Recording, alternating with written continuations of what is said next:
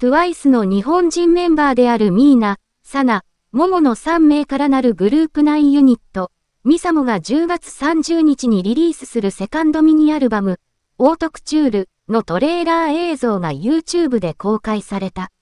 世界に一つしかないオーダーメイド服を意味するミニアルバムのタイトル、オートクチュール。トレーラーは職人の手で丁寧に服が作られていく過程と、独創的なスタイルを作り出していくミサモのストーリーを絡めた映像となっている。